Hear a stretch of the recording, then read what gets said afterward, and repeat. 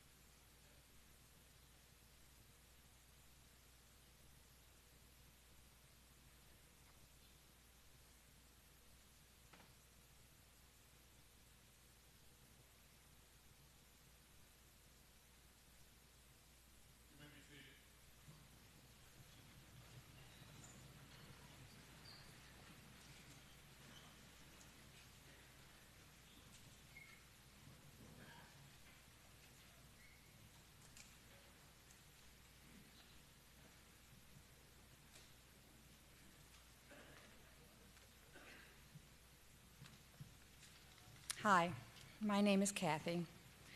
And Susan and I, Heather's mother, Susan and I, have been best friends for quite a while, and we are so close that we call each other sisters. So I've been asked to welcome each and every one of you here today. We are here to remember Heather Heyer and to say goodbye. Some of us are here as family. Some of us are friends, old and new. Some are coworkers, but that's more like family to Heather. And some of us are just here out of respect for a young woman who lost her life defending the rights of people. And I would like for us to carry her legacy on by doing the same thing, respecting the rights of everyone. We want, the family is humbled and deeply grateful for the outreach and the outpouring of love from the community and generosity. We especially need to thank the J.F. Bell Funeral Services, the Paramount, the Space Downtown, Amazon, Albemarle Limousine, and the police department who have kept us all secure today. At this time, I would Elwood Schrader, Heather's grandfather, is going to share some remembrances.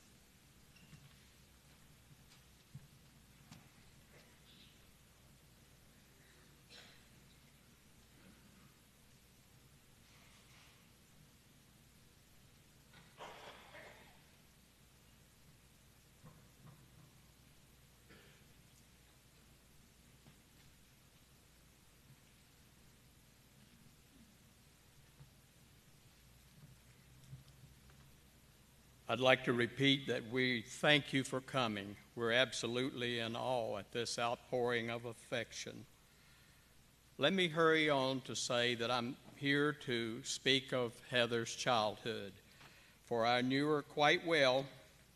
She lived in our home for some years, in her younger years. I've rocked her to sleep many times, and sometimes we went to sleep together in the chair.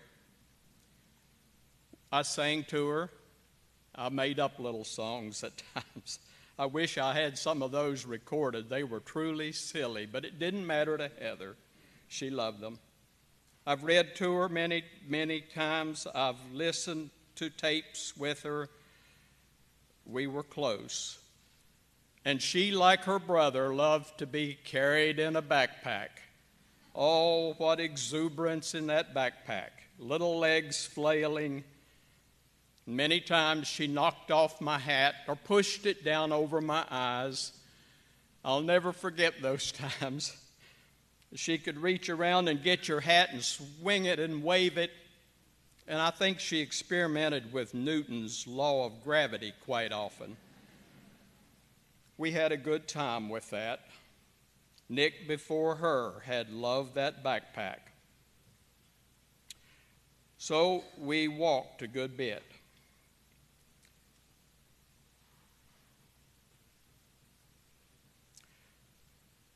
She showed her passion at an early age. You didn't know her as a child, most of you. You only knew her as an adult and saw the passion in her. But at an early age, she could call out something that didn't seem right to her. As a taught in nursery school one time, my wife was asked to go pick up Heather that evening because Susan had to work late. And when she showed up, the, the attendant, the one taking care of her, said, Heather, your grandma's here. Heather stamped her foot, got indignant, and that little tot went tottering across the floor. She said, She's not a grandma. Grandmas walk like this. She's Nana. And Nana she was, too. She called me granddaddy, but the way she said it then, I'll never forget, and we teased about it. I was daddy. Sometimes I signed cards to her that way down through the years just for a laugh. In earlier years, she wanted fairness. She wanted justice. She wanted everybody to get equal respect. And with an older brother, that got tough because older brothers are going to get more privileges, you see. And she watched that like a hawk, and she'd call you out, Why can't I do that? Why can't, why can't I have that privilege? Why can't, why does he get to do it? And we had a lot of fiery discussions. And she, she wanted to understand your viewpoint. It didn't seem right to her, but she insisted on knowing your viewpoint. And I think you saw some of that. So we talked and we discussed and we had many questions and answers, but sometimes I couldn't come up with answers. She was, she was pretty sharp. How ironic that she ended up in a law office of all things. Discussion with passion, hands waving. If you knew Heather well, you knew that she couldn't talk without both hands in motion. It was an it was an adventure to see her come home from school and tell you about the day's happenings. In fact, it got so animated that we four would quit eating so often and watch her as she stood up at the corner of the dining room table, waving hands and almost dancing as she told you something that happened that day. She loved life. She was entertaining to watch as she grew up. You never knew what was coming next. Yes, that same drive, that same passion, that same desire for justice, I think we saw it all through her life. She wanted respect for everybody. In our family, all lives matter. And she absorbed that quite well, as did her mother before her and her brother. And she realized we all need forgiveness and we all must extend forgiveness.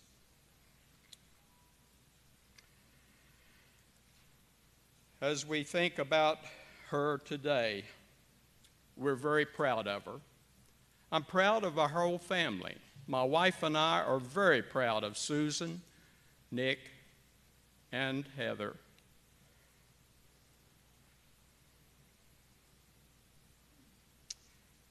As I think about this, I think of Tevye's song and Fiddler on the Roof.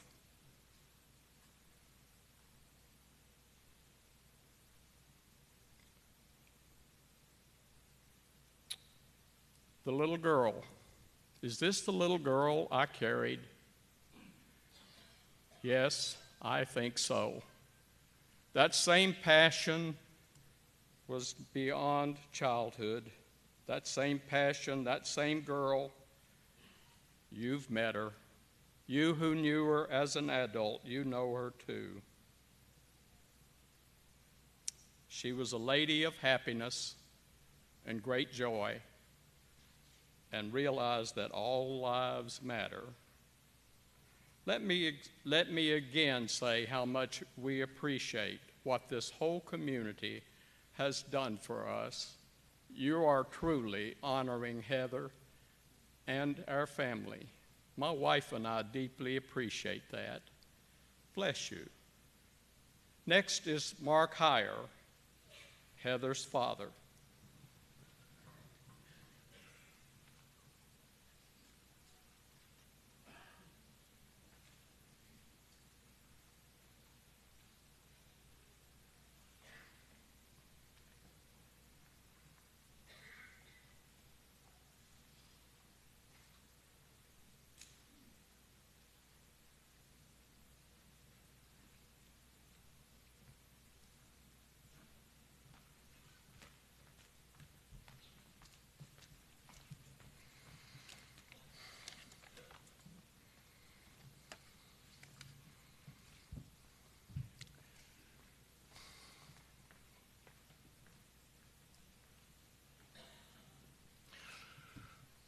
No father should have to do this.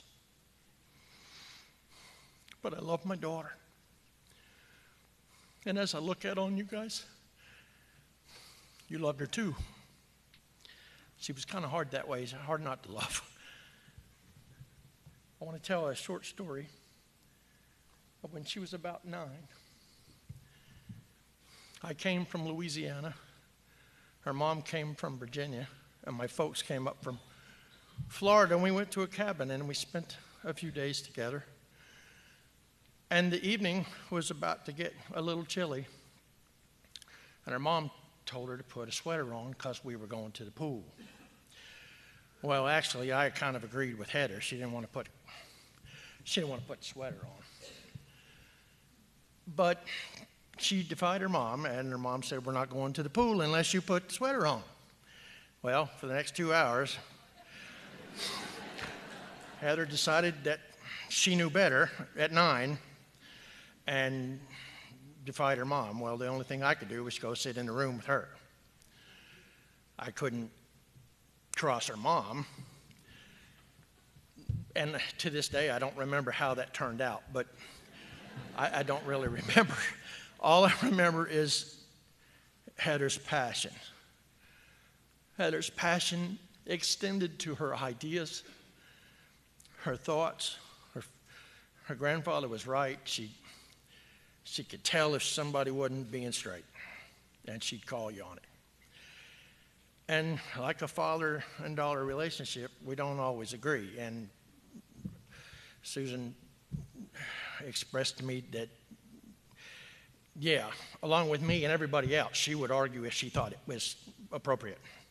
Even if she didn't think it was appropriate, she would tell you what she thought. and as I listened and to her friends,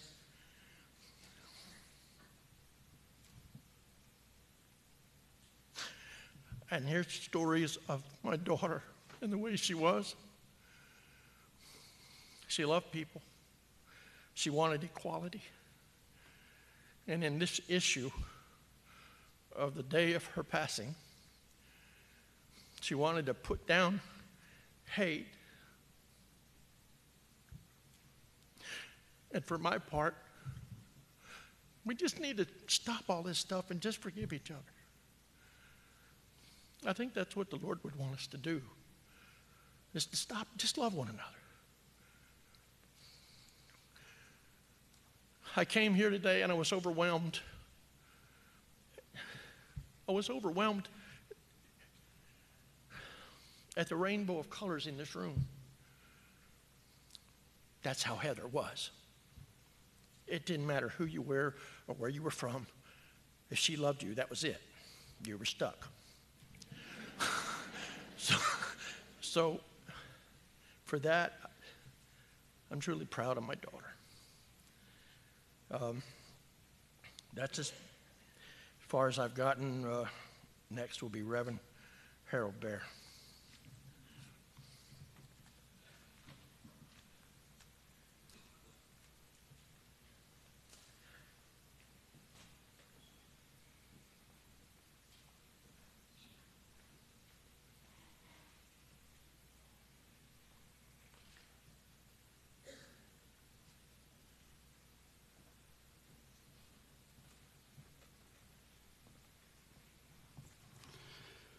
Relax.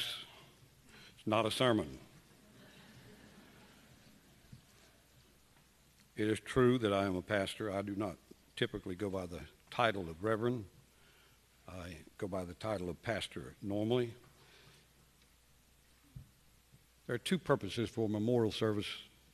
First is to appreciate and to cherish memories of a loved one. And the second is for us to consider the value of such occasions as this, what value is added to us for the journey that remains for our individual lives.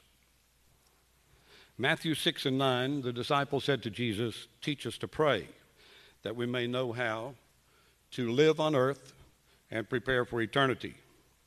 And Jesus answered, Our Father, which art in heaven, hallowed be thy name, thy kingdom come, thy will be done on earth as it is in heaven.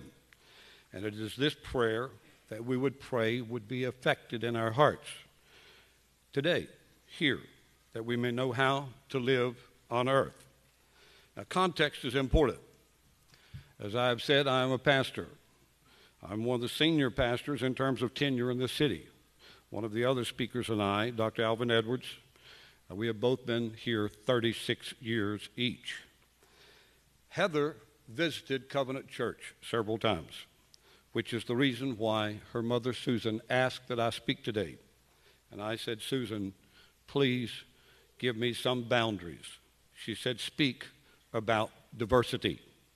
So, if you allow me, I will share with you in context my comments of what Heather saw at Covenant Church and what has transpired in 36 years and why I would talk about diversity in the way that I shall do so. My role in this community came about as I became a graduate student, a doctoral graduate student at the University of Virginia in sociology. And much was I surprised to find that upon completing residency, we were to become pastors. Our congregation was a modest size, one color, totally, absolutely.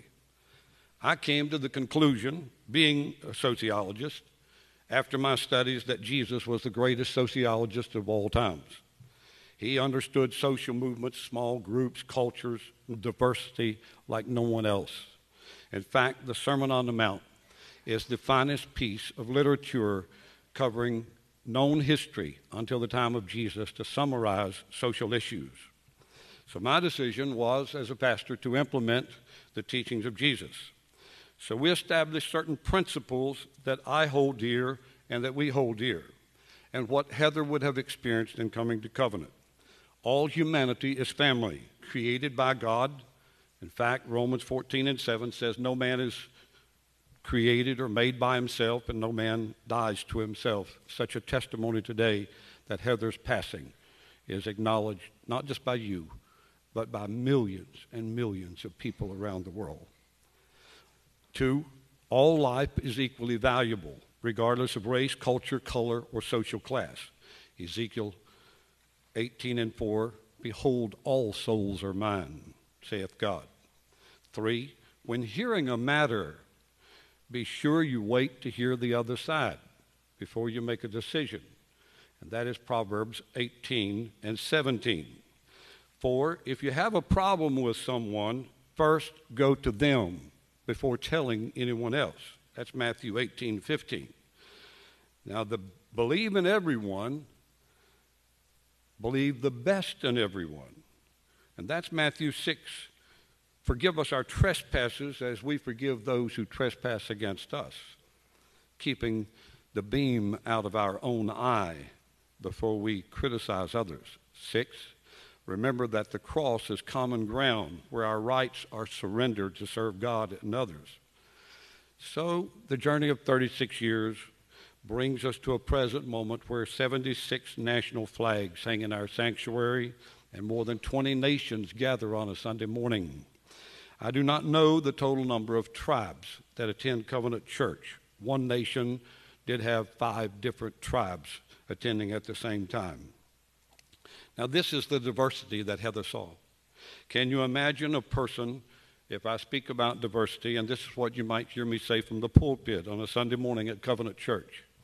Can you imagine a person in our city going to the University of Virginia Hospital or Martha Jefferson both of which I consider to be world class medical facilities, and needing plasma or a heart transplant and saying, and who is the donor?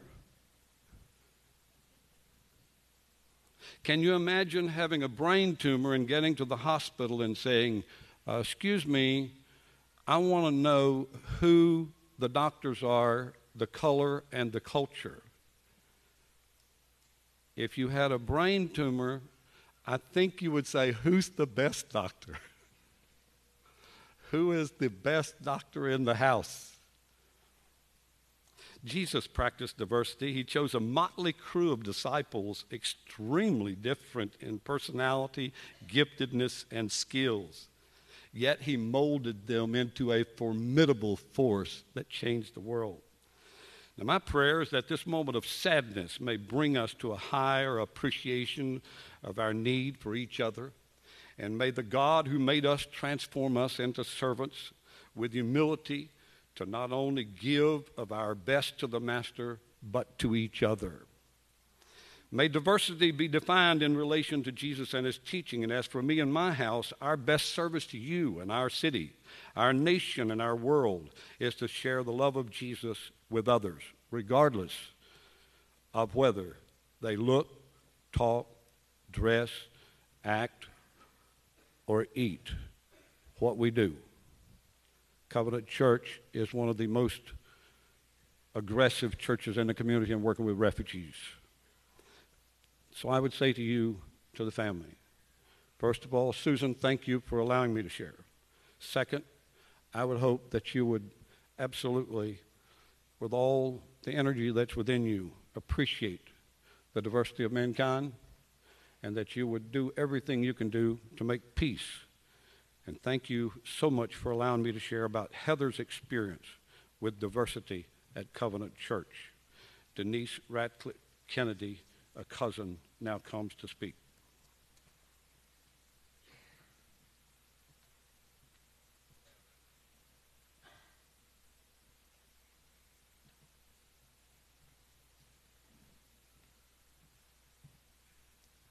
I picked a poem to adapt for today. The original poem is We Remember Them by Sylvan Kamens and Rabbi Jack Riemer.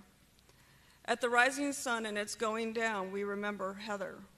At the blowing of the wind and in the chill of the winter, we remember her.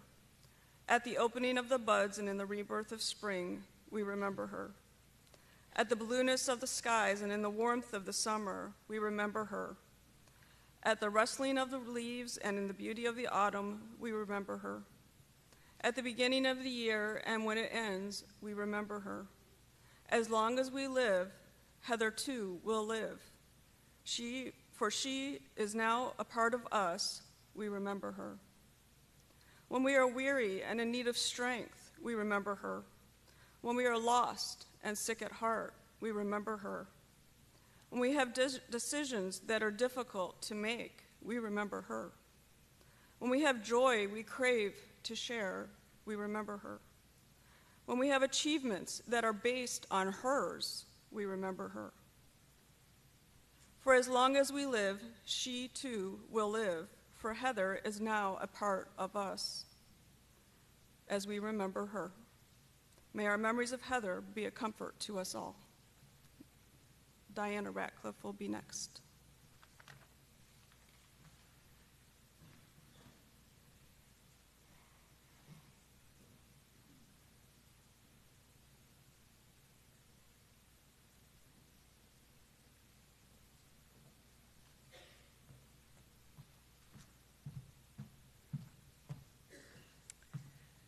I'm going to be sharing a letter that I wrote to Heather about all the things that I wish I would have said before today. Hmm. Dear Heather, did I ever tell you about my earliest memory of you? Just an image of you, a whirling dervish of bouncy brown curls in Mama and Papa's kitchen? Did I tell you that your smile was infectious and that your eyes glittered and laughed? Did I tell you that you come from a long line of stubborn and passionate women? the qualities of a toddler that would drive any parent crazy, but those qualities turned you into an independent and compassionate woman. Your compassion. Did I ever tell you how much I admired the woman you became? You always saw the good in other people, people I would have cut out of my life, but you refused to give up on them. Your patience was heroic. Your courage. You never had a problem having the conversation or saying what needed to be said, even when it was uncomfortable. Your conviction. You didn't let other people tell you how to think, how to feel, how to behave. Did I ever tell you how much you taught me? That you don't have to be a world leader, Nobel Prize winner, or CEO to change the world.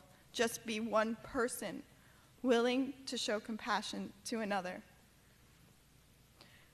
Did I ever tell you how much I loved you? Heather, when my children ask me who I admire most, I will tell them you, my baby cousin, who is larger than life and too good for this world. You are in a better place now, where there is no pain, no sadness, no hunger, and no hate. You might not be with us anymore, but you will always be in our hearts. Love always, Diana. I'd like to introduce uh, Veda Khatib Wilson, a friend of Heather's.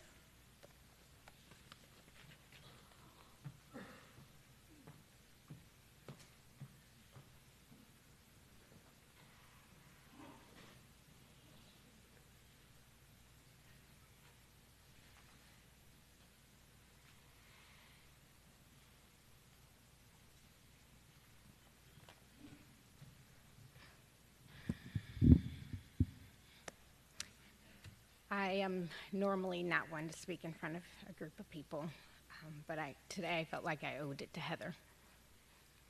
Um, Heather was a wonderful person. Um, she was not just a coworker; she was a friend. I just wanted to share a few moments that we had together. Um, I worked in the office with Heather, and uh, everyone that knows Heather knows she is not a morning person. That was like her worst thing. And she would come in in the morning and I'd be like, Good morning, Heather. And mind you, she comes in at 10. So um, she'd go straight and get her coffee because that was really important. We all wanted Heather to have her coffee. Um, but she just is a wonderful, was a wonderful soul. She would get to work and stay after, come on on the weekends. We all admired her commitment to her job, just to life in general. She um, was a real person, and everyone that knows her knows that she cursed like a sailor sometimes. Um, and my office is right outside the printer, and I could hear her going off and something was jammed or something didn't print out and, and she'd look at me and she's like sorry and i'm like that's fine. But she it was an everyday thing. Her and that printer just were enemies. Um, we will all continue to have sleepless nights and our pain will eventually fade away but our memory of heather will forever live on. And i just wrote a little something that I wanted to share. I'm sorry. I'm sorry, Heather, that it ended this way, that terrible, horrible Saturday. That devastating phone call that we didn't want to believe was true, and the aches in our heart of hearing what happened to you. There must have been a mistake, I kept on saying to myself as I entered the doors at UVA, and the numbness in my body and the words that I couldn't speak standing there listening but not actually hearing, the inner child in me crying but my adult self fearing. How could this happen? Happen like in the world today? After all those marches that ended in violence and all those verdicts that ended in rage and all the hate crimes that go unsolved, when is this so called change ever going to change? So I'm so sorry, Heather.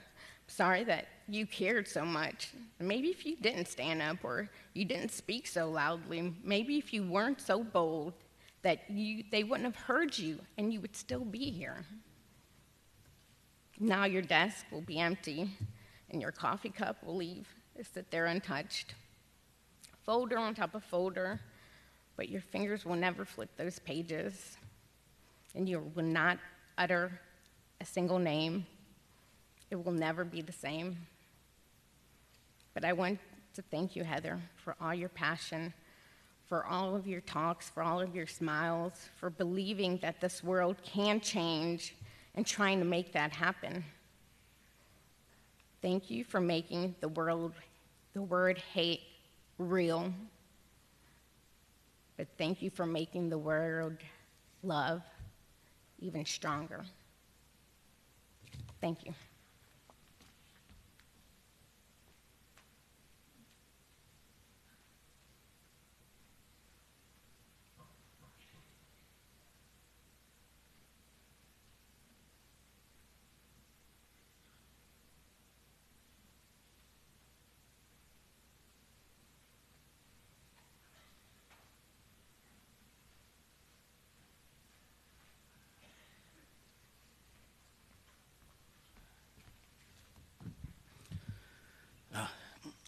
Well, hello, everyone. I'm, I'm Alfred Wilson.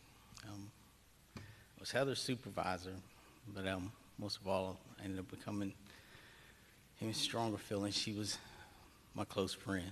Um, quite often, she and I used to joke um, because I would say she was my office wife.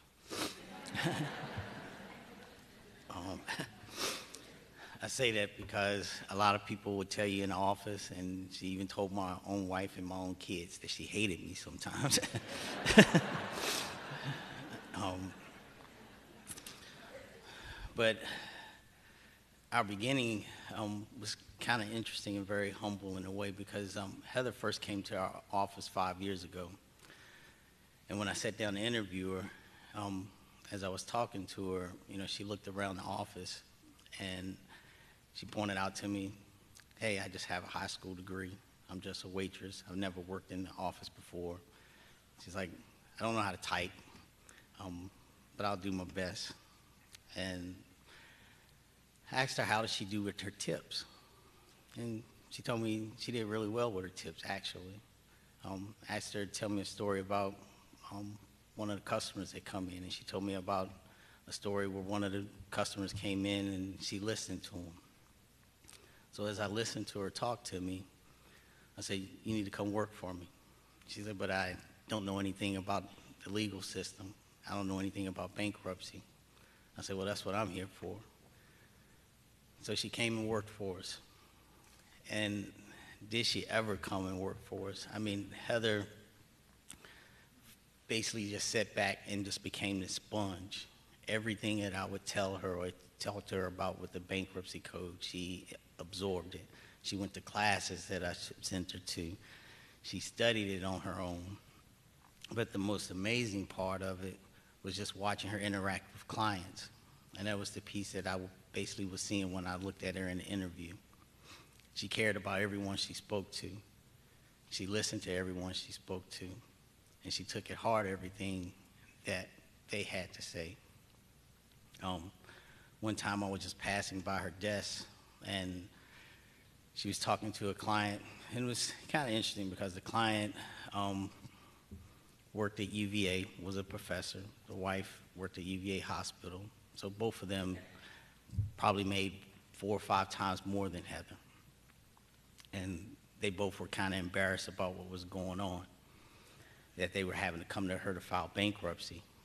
And she held their hand and said, Well, Alfred always tells me to remember one of us could be on the other side of the table.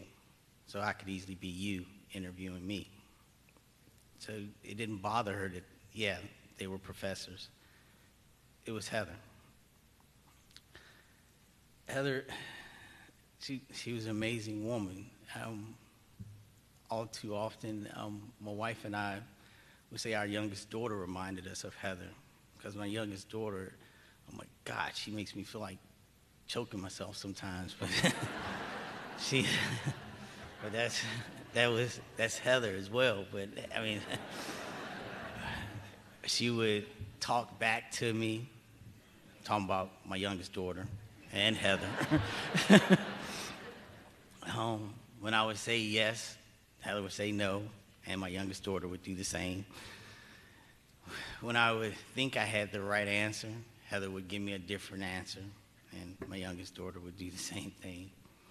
But the thing is, Heather would always have that fight and that compassion in her.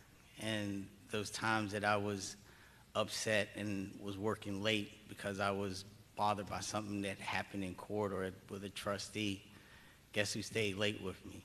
Heather. She would come in there and give me a hug and see if there's something she could do. Maybe nothing she could do because she knew nothing about what I did on the what we call the back end of the process. But she would be there. Um, I want to tell you a, a little story that happened one time that it's probably about two years ago. Um, Heather had a friend she was seeing, and she, I knew she had been seeing him for a little while. And one night, Heather and I had worked late, probably about to 8, 8.30, and we were walking out of the office. Um, as we walked out, I said bye. Her friend was sitting out there waiting for her. Um, and then I come the next day, you know, Heather was kind of a little upset. And I was wondering what was wrong. And she said her and her friend got in an argument. And I was like, what's wrong? And she said, well, when you came out the office, my friend saw you. And I'm like, okay. Um, and I told her that him that you were my boss, and he was like, you never told me you worked for a black man. And he was like, what difference does that make? And she, um, basically, she sat there and told me she didn't have a, a friend anymore because she broke up with him. Because it was more important for her that she basically, somebody she knew that would stand by her, me, and didn't care who she was. I didn't care that she had only a high school degree. But she cared enough about me as a person that she stood up for even in her own personal relationship. It took a lot of strength for her to do something like that. I mean, far as she know, the next day I could have decided to fire her. Now she didn't have a boyfriend and she didn't have a job. but, but um, Heather, she was always there for everyone. I mean, staff that came through the office, the ladies in the office, they had this unique bond. And that's one of the things, if any of you could ever come to our office, we were like family. All of us, after hours, would have, sit there and have a couple drinks. We would have laughs with each other. We hugged each other. Um, to, to sit and think at, you know, one of our, our staff that actually was there with Heather the day of the crash, um, had watched her have a baby, watching her kids grow up. Heather's watched my children grow up. And now she's going to have to look down from heaven and watch them. But I know Heather, and I told myself I wouldn't get upset, but this is not working. but um, I'm just proud of Heather.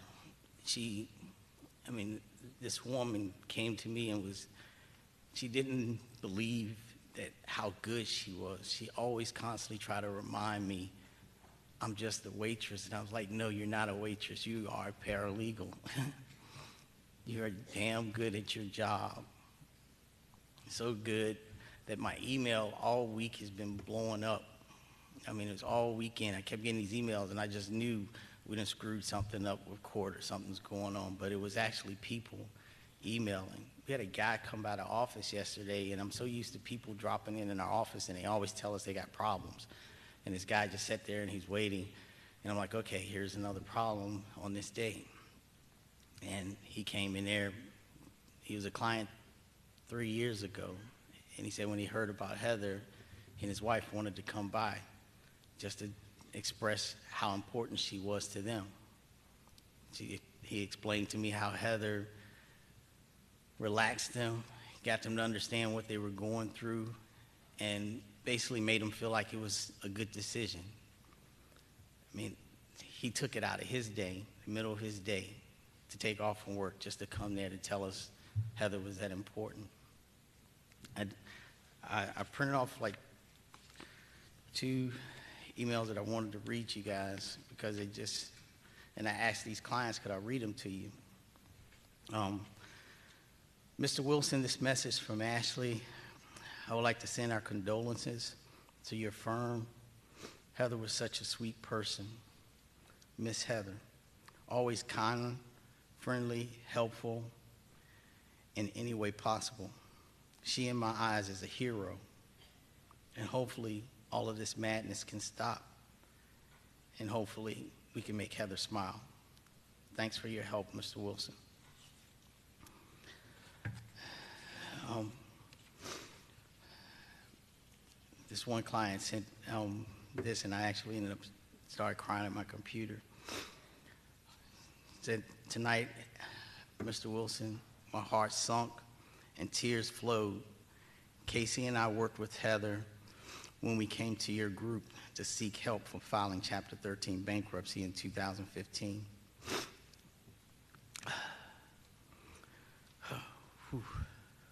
We felt hopeless when we arrived, but I remember Heather running your front office like a queen. She knew her work. She performed it well. Heather left a true impact on me and my husband. We were your clients. I can only imagine the pain and the sorrow that your office may be feeling this Monday morning. A true void, a senseless act of evil, crime, an act of terrorism took Heather home. I'm so saddened for everyone that knew Heather, and I'm praying that the family and her friends and her workers will truly be able to heal from Heather. We'll miss her. Heather, I mean, like I said, Heather touched our clients every day. She was the one person in our office that touched every single file in our office. Not just one file, but every file had to come through Heather. They touched her hands, every single one of them. And as Heather would sit there and tell me when you, and she she got what I was was teaching her about. But if you really look at um, a file the right way, you can see what happens in a person's life. You see a whole bunch of credit card debt, and you see three kids. You know they cared about their kids and spent way too much money that they're supposed to. You've seen a whole lot of medical bills down there. You know that they had some kind of pain, something that happened. And Heather would be sympathetic to that. She would basically tell me that before I would even walk in there to see him. Alfred, this lady had breast cancer. You need to be mindful of that aspect of it. She cared about little things like that. It just, I, I will pray and ask that our world somehow, some way, can sit here and, and feel that love that she had. I mean, she believed in each and every one of us. She saw the good in everyone. Even the times when she said she hated me, she would still turn around and come hug me within five minutes later. I thank all of you for coming out here. Um, I've been truly blessed, and when I when I say truly blessed, I've been truly blessed to, to know Heather. I've been truly blessed to know her mother. Um, her her stepfather Kim. I mean, these are like really good people. I mean, that, my my tire went bad on my my brakes went bad on my car, and this dude back hurt, can't do anything. What does Heather do? She calls him up, and he comes and fixes my truck. Why? Because she loves Heather. I know that. Heather told her I was good, so that means I must be a good person as far as they were concerned they would drop a hat for anything. And so I know that's where Heather got it from, was from her parents. Just, I would ask any of you, take time for the next few days, for the rest of your life, and please just reach out your hand to somebody you don't know. Touch them. Tell them thank you. Tell them hi. Um, you do something that I did the other day, just thinking about Heather. I was in McDonald's drive-through, and I told them to, that I'm paying for the lunch for the people behind me. I don't know who it was behind me, but I just knew Heather would care enough to sit there, and she just helped everybody. So maybe do something as simple as that. Buy the lunch for the next person behind you. Don't acknowledge it because then you're trying to take credit for it. And that's something Heather never did. She never sat there and took credit for what she did good. She just did it because it's supposed to be. Thank you. Um, next, we have Heather's mother.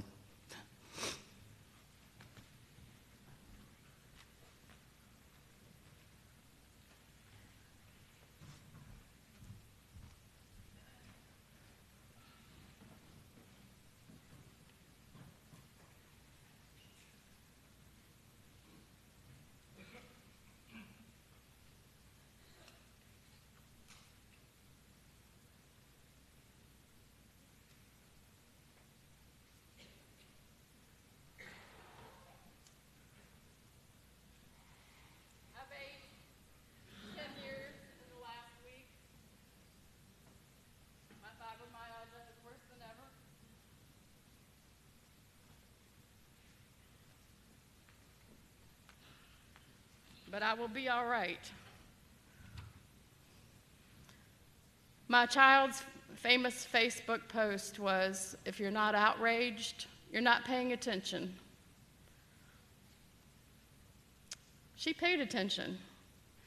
She made a lot of us pay attention. Oh my gosh, dinner with her, we knew was going to be an ordeal of listening and conversation and perhaps disagreement, but it was going to happen. And so um, my husband would say, Okay, I'm going to go out in the car and play on my video game for a while. And we would sit and would grill. And she and I would talk, and I would listen. And we would negotiate, and I would listen. And we talked about all this stuff. We talked about politics. We talked about um, anything that caught her eye that she felt was fair, unfair. She'd talk about her feelings about the office and how things were going. I mean, she just talked. The girl loved to talk. And she was single, so there was nobody listening at home, so mama got a lot of it. and that was wonderful. You never think you're going to bury your child, you never think to take those pictures.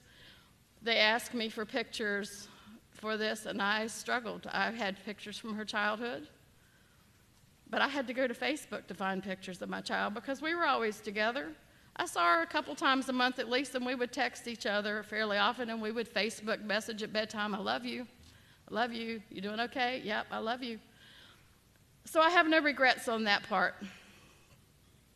Take pictures of the ones that you love because you don't know when they're not going to be there. But here's what I want to say to you today this could be a storm in a teacup, and it could all be for nothing. This could I could have said, Let, let's don't do this publicly. Let's have a small private funeral. But, you know, that's not who Heather was. Anybody who knew Heather said, yep, this is the way she had to go, big and large. Had to have the world involved because that's my child. She's just that way. Always has been, and she will continue to be. Because here's the message although Heather was a caring and compassionate person, so are a lot of you. A lot of you go that extra mile. And I think the reason that what happened to Heather has struck a chord is because we know that what she did is achievable. We don't all have to die, we don't all have to sacrifice our lives. They tried to kill my child to shut her up. Well, guess what? You just magnified her.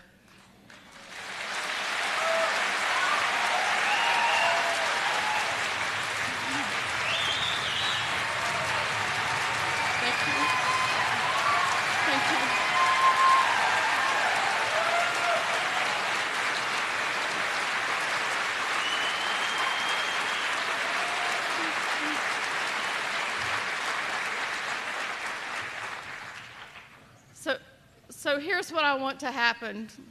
You ask me, what can I do? So many caring people, pages of pages of pages of stuff I'm going through. I'm reading pages of pages of pages, how she's touching the world. I want this to spread. I don't want this to die.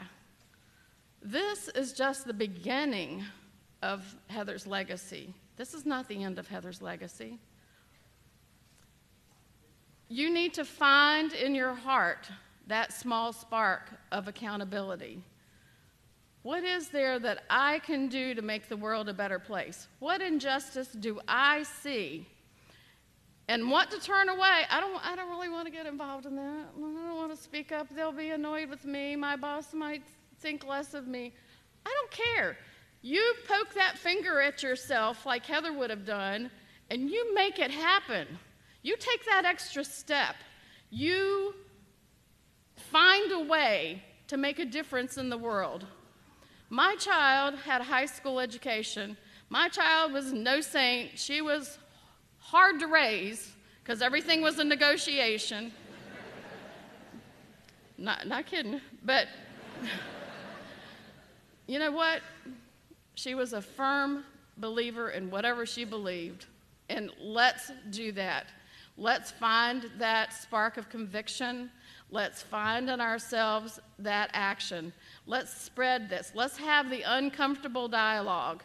It ain't easy sitting down and saying, Well, why are you upset? It ain't easy sitting down and going, Yeah, well, I think this way, and I don't agree with you. but I'm going to respectfully listen to what you have to say. We're not going to sit around and shake hands and go kumbaya. And, and I'm sorry, it's not all about forgiveness. I know that that's not a popular trend. But the truth is, we are going to have our differences. We are going to be angry with each other. But let's channel that anger not into hate, not into violence, not into fear, but let's channel that difference that anger into righteous action. Right now, down the road, there's a blood drive going on in Heather's name. Right now, there are people who are here willing to listen to one another and talk to one another. Last night in New England, they had a peaceful rally in Heather's name to have some difficult dialogues. If you ever want to see what one of those dialogues looked like, look at her Facebook post. I'm telling you, they were rough sometimes, but they were dialogues, and the conversations have to happen. That's the only way we're going to carry Heather's spark through. So remember in your heart, if you're not outraged, you're not paying attention. And I want you to pay attention, find what's wrong, don't ignore it, don't look the other way. You make a point to look at it and say to yourself, what can I do to make a difference? And that's how you're going to make my child's death worthwhile. I'd rather have my child, but by golly, if I got to give her up, we're going to make it count.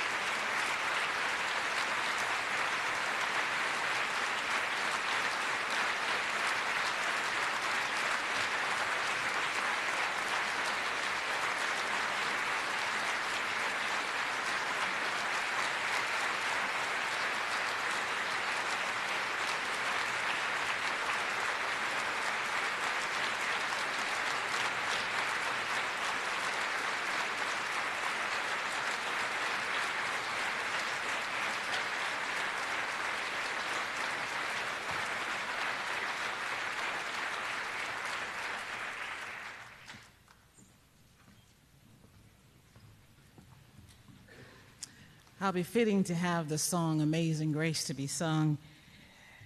This is a song that was written by John Newton, but my understanding also is that it was moaned in the belly of a slave ship that was owned by John Newton, seeing the intermixing of the, the good things, the hard things that come together and can make something as beautiful as Amazing Grace. So you're going to hear some sounds. I want you just imagine yourself in the, on that ship. The things that are going and happening right now.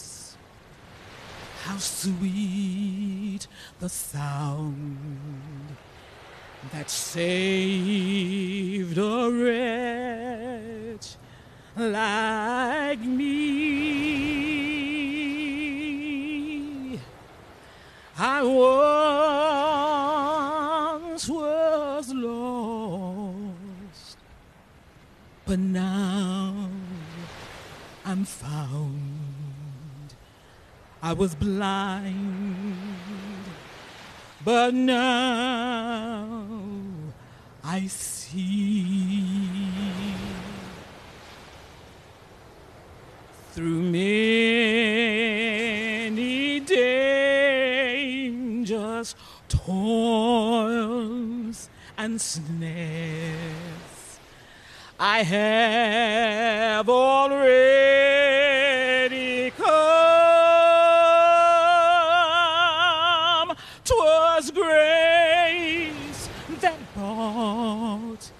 me safe thus far, and grace will lead me home.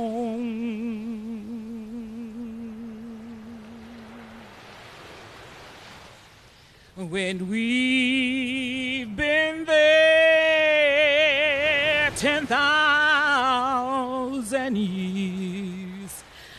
bright shining as the sun, we've no no less days to sing God's praise than when we first begun. Hallelujah, hallelujah, oh man, hallelujah, hallelujah, oh man.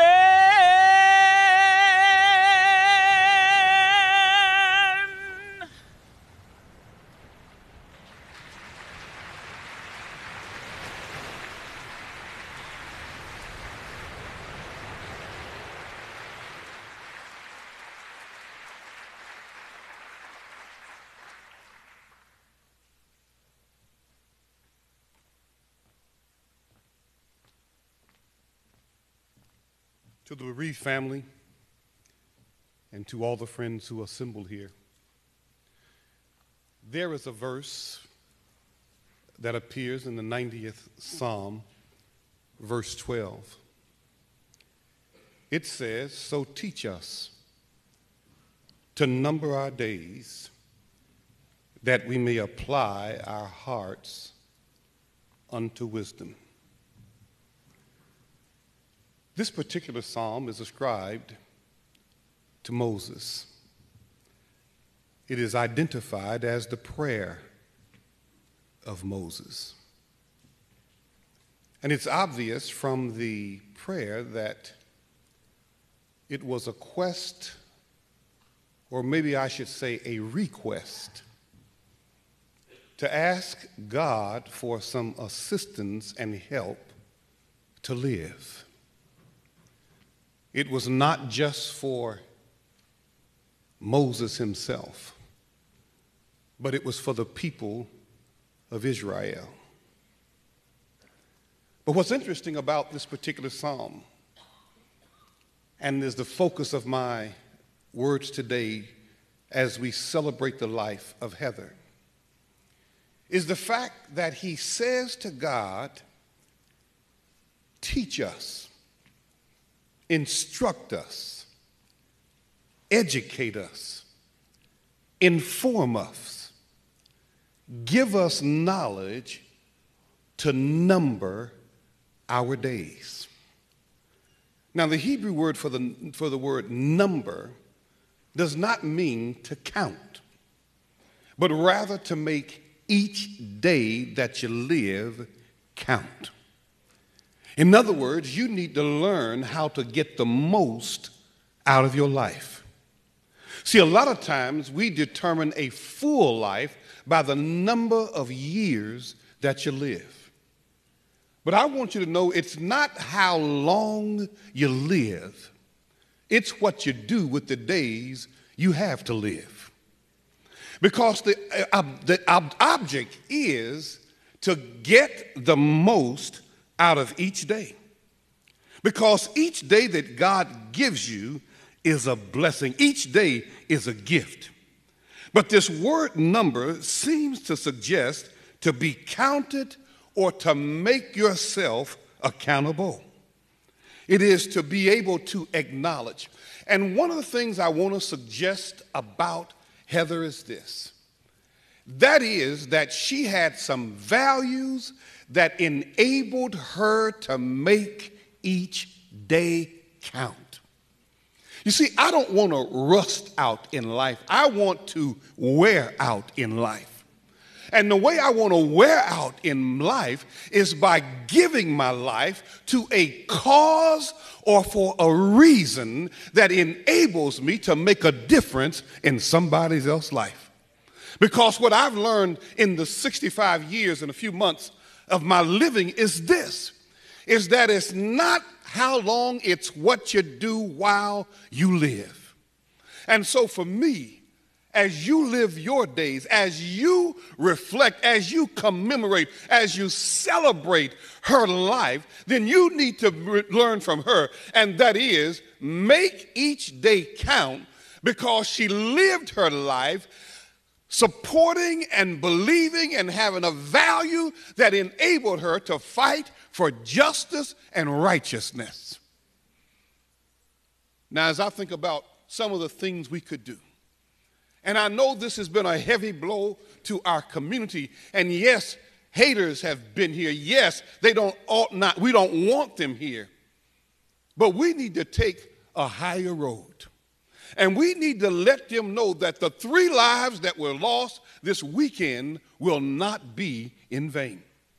And one of the ways you can make them not be in vain is to make sure that you do use your life and get the most out of it by touching another life. Well, how do you touch another life? Wouldn't it be wonderful in, in the Charlottesville, Albemarle County area that if each one of us adopted a child who cannot read, and that if we made sure that child was on read grading, read grading, grading, re- on the level, the right level of reading, was on grade reading level, in this community, you would have a child, there wouldn't be a child in this community who could not read. And don't you know it would say this about Heather's life? That just as she didn't waste hers, we didn't waste ours. And so for me, I want to get the most out of my life. And one of the things I want to make sure of is that my living is not in vain. The songwriter said it best that if I can help somebody as I pass along, if I can show somebody they are traveling wrong, if I can teach somebody, then my living shall not be in vain.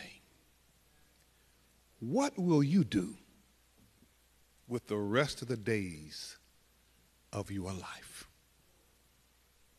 Will you make a difference in someone's life? Because the bottom line is, you have to decide that either you will rust out or wear out. Let us pray. And now, God our Father, we thank you for the life of Heather. We thank you for her mom, her father, her stepfather. We thank you for her brother, sister in law. We thank you for her grandparents. We thank you for everyone who has instilled values in her life. Now, Lord, I pray that you would bless the family, affirm their faith and trust in thee but above all, remind us that you doeth all things well.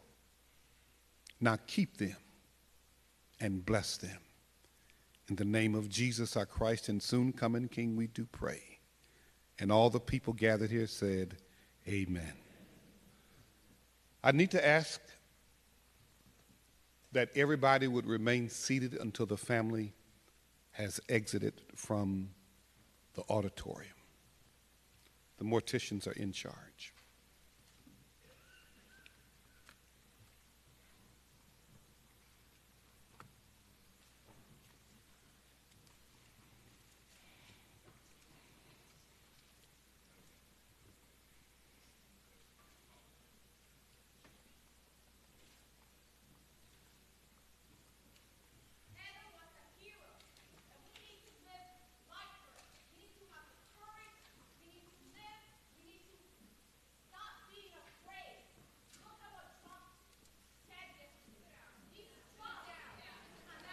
Say, ma'am, would you please take your seat?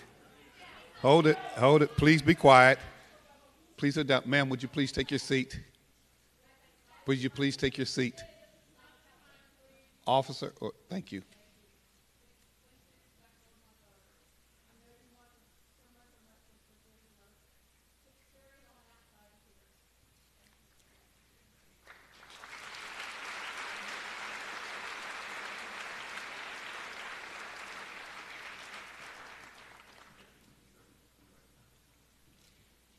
After the family, we will let the governor, lieutenant governor, and the attorney general and their staff be dismissed too.